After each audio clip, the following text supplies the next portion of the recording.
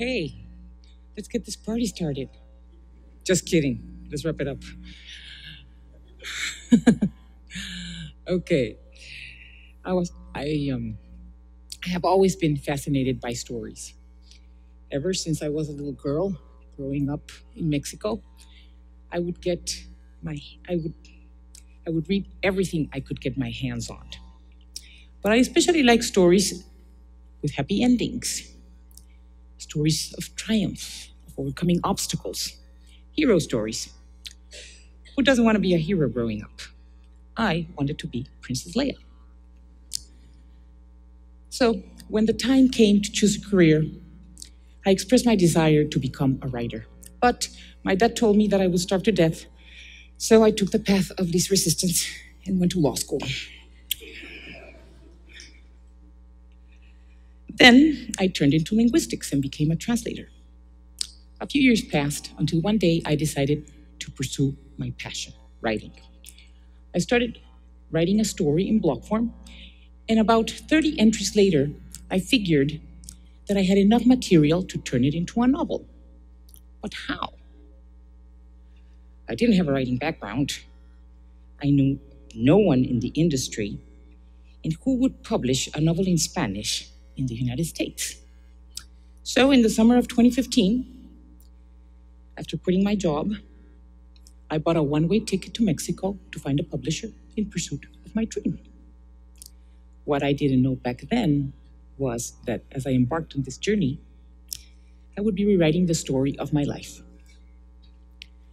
On Sunday, March 20, 2016, I woke up like every other Sunday, happy and ready to go to the gym with my husband. It was our 23rd wedding anniversary. We woke up, congratulated each other for one more year without appearing in America's Most Wanted, and got up to start our routine. We had a nice lunch where we talked about the current state of things, with our 22 year old son announcing a few days earlier that his girlfriend was pregnant, and our 20 year old daughter back home after dropping out from college with no clear plan or direction, plus our 12 year old daughter hitting puberty. We had faced many challenges together before, and this would be no different. Everything would be all right. Three hours later, my life came crashing down. Winston Churchill famously said, When you're going through hell, keep going.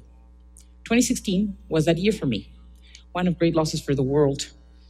First, it was David Bowie, then Prince, then Muhammad Ali, and then my personal hero, my father. He had been diagnosed with Alzheimer's and took a turn for the worst right in the middle of the four alarm fire I was trying to put out. A succession of life altering events was taking place, and I wondered, why is all this happening to me?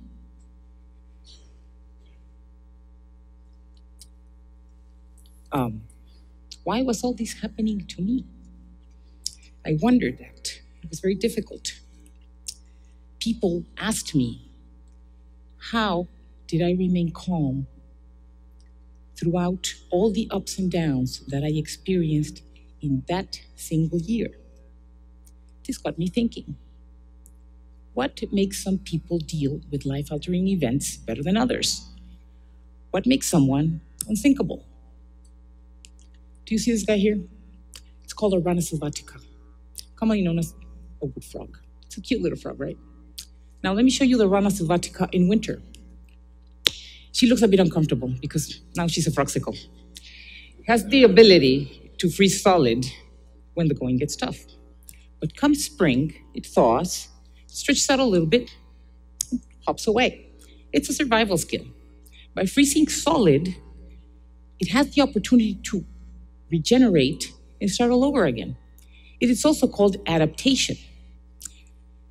Adaptations takes thousands of years. We don't have that kind of time.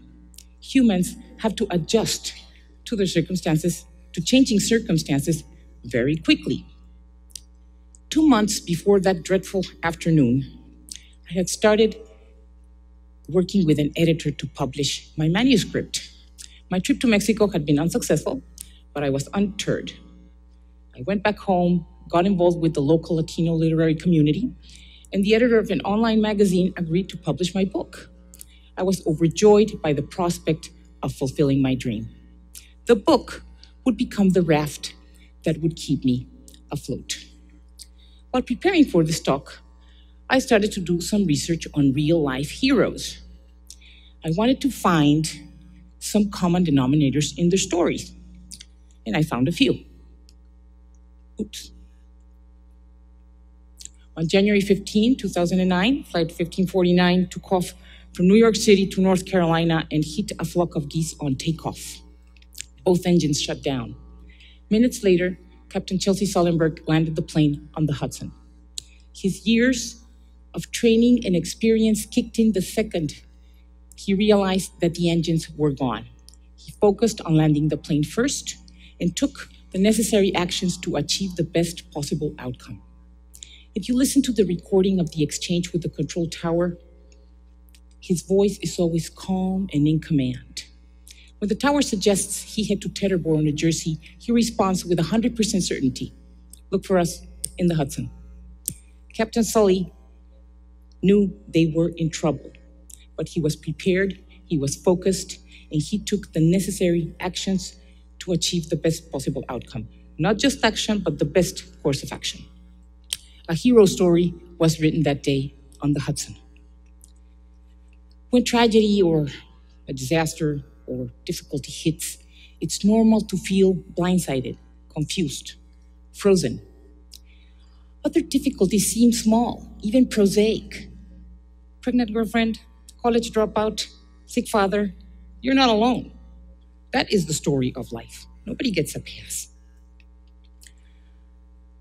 I noticed also that action takes a lot of forms. Action doesn't have to look like a Star Wars movie. Action can be quiet, silent, even passive. Sometimes waiting it out can be the best course of action. Oops, oops. Uh, that was a punchline. Oh my God. Oh, there. Okay, so that is Rosa Parks uh, being booked after refusing to give up her seat back in 1955. By refusing to move, she ignited the civil rights movement. Many people think she did this out of the blue, but she didn't. She had a plan. A few had tried before her unsuccessfully, but she waited and waited a little bit more until the time was right. She had been prepared for this moment all her life. She was focused on sending a message on behalf of her community, and she took action at the right time by refusing to move. This selfless act of defiance changed the course of history and her story. Selflessness translates into fearlessness. When you put others before you, you get superpowers. Uh, any one of you can be a hero and not know it. We see this often when tragedy strikes, ordinary people like you and me suddenly doing extraordinary things. That March afternoon, after coming back from lunch, I went upstairs to my bedroom to read. My husband stayed downstairs watching TV. An hour later, my older daughter came running upstairs in a panic. Mom, I have to tell you something. I caught dad with an app on his phone. What? What are you talking about? Grindr mom. What's that? A dating app mom. My head started spinning. A few minutes later, I confronted my husband, and with much difficulty, he admitted what my daughter had refused to tell me. Not that he was cheating, but that he was gay. I was stunned. I felt like Captain Sully. I had lost the engines, and I had to land this plane. Fortunately, I had more time than Captain Sully. So I had two choices. I could choose to be this, and there's the punchline, or I could choose to be this. I chose Princess Leia. And it's okay, guys. You can also be Princess Leia. I focused on my book and the well being of my children. And as long as I was calm and in command, I knew everything would be all right. At the end of May, I, uh, my book was launched at the National Museum of Mexican Arts in Chicago. Nobody had ever heard of me, but I was prepared, focused, and determined to make the event a success. More than 100 people attended it, and I can proudly say it was a hit, considering it was a novel in Spanish published by an unknown author in the United States. After the book launched, we told our children about our impending divorce and their father's sexuality, and they accepted him with open arms. Although saddened by our separation, they expressed that the only thing they cared for was our happiness.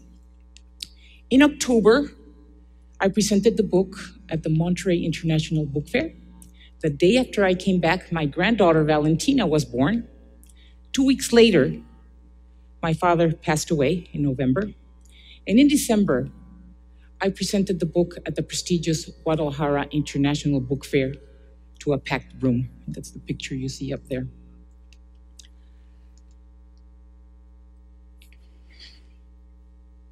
Today, oops, today, my ex husband is my best friend, and my family is still my family.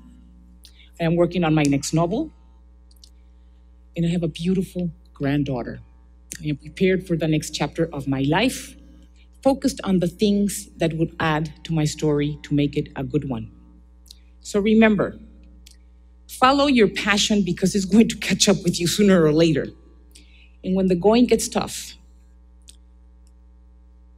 oops, again, prepare, focus, be fearless, take action, and make your story a good one.